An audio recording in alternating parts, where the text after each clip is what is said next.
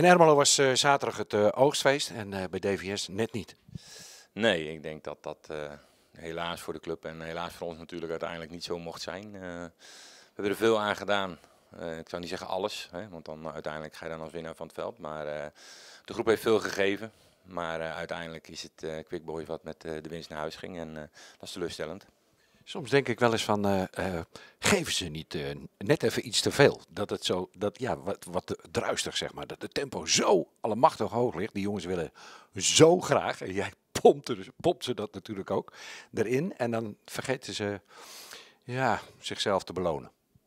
Ja, dat zou soms waar kunnen zijn. Hè. Het is natuurlijk zo dat, dat we iets willen tonen aan het publiek daar waar we voor staan. Eh, het kan soms zijn dat je dan inderdaad eh, te overactief bent. Eh, maar ik vind ook dat zaterdag daar niet aan lag ten aanzien van de kansen wel of niet benutten.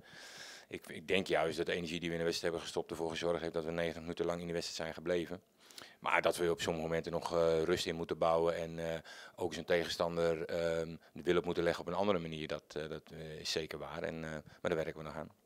Toch lees je ook weer eh, nu in de kranten dat eh, ploegen die eh, spelbepalend wilden zijn afgelopen zaterdag in, dat, in die bekerduels, dat ze toch de Bietenbrug opgingen. Ik noem even ASWH tegen Hoek, ook ASWH. Heel veel balbezit en uiteindelijk toch de Bietenbrug op. En zo zijn er nog wel een paar voorbeelden.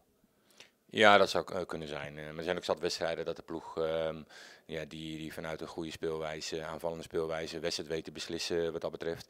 Zaterdag had zo'n wedstrijd kunnen zijn. Ik denk dat we onze ploeg niet af moeten rekenen op het feit dat, eh, dat we verloren hebben, maar wel op het feit dat we de kansen niet benut hebben. En eh, wij moeten doorgaan op deze manier eh, van spelen. Kijk, op het moment dat je echt heel slecht in het seizoen start of dat er dingen gebeuren die je liever niet wil, dan kun je altijd nog een stapje achteruit doen. Eh, maar in de basis vind ik dat we, dat we een, een, mooie speelwijze op de mat moeten leggen, zoals het hoort bij DVS. Uiteindelijk ook een winnend DVS. Nou ja, daar moet je ergens naartoe werken. Die stappen zijn we nu aan het maken, maar eh, we laten door één nederlaag niet eh, het kopje hangen op dat gebied. Precies, en over nederlaag gesproken. Dovo die ging natuurlijk ook met 5-2 eh, naar huis. Een beste nederlaag. Jij kent die ploeg nog eh, van eh verleden jaar in de hoofdklasse B. Ja, ik ken die ploeg hartstikke goed. En ik weet ook dat Dover op gras, dat is gewoon eh, geen succes. Dat is ook gebleken toen bij SSC Putten. Nou, dan heb je als tegenstander tegen Dover altijd een kans, omdat ze een extra aanname nodig hebben. Ze voelen zich daar gewoon niet prettig op. Dus ik verwacht dat dat afgelopen zaterdag ook zo is geweest. Maar aankomende zaterdag dan eh, hebben ze de open dag eh, voor het eerste wedstrijd in de derde divisie. Dus er zal me veel aan gelegen zijn om, eh, om daar toch weer heel gretig te staan. En Gert Kruis kennen zal hij daar ook voor zorgen. Uiteindelijk gaat het erom, wij willen zaterdag die beloning hebben tegen Dovo. Moeten laten zien dat wij al langer in die derde divisie spelen. En dat moet uiteindelijk de doorslag geven zaterdag. Kun jij nou ook nog in zo'n weekend zagrijnig ervan zijn dat je niet wint? Want jij, jij wil wel heel graag winnen, en natuurlijk Bert ook. Ik ben alleen maar zagrijnig dan. En eh, dan, ben ik, ja, dan duurt het echt wel eventjes voordat ik op ga, eh, ja, weer op gang kom. En eh, nou, dan ga je zondag eh, 18 kilometer hardlopen. En dan ben je weer een beetje van die woede kwijt. Maar nee, dat blijft echt wel hangen. En ik ben nu ook weer blij dat ik de kopjes weer zie. En dan, dan daalt het weer, weer een beetje. Je ziet er weer strak uit, Bert.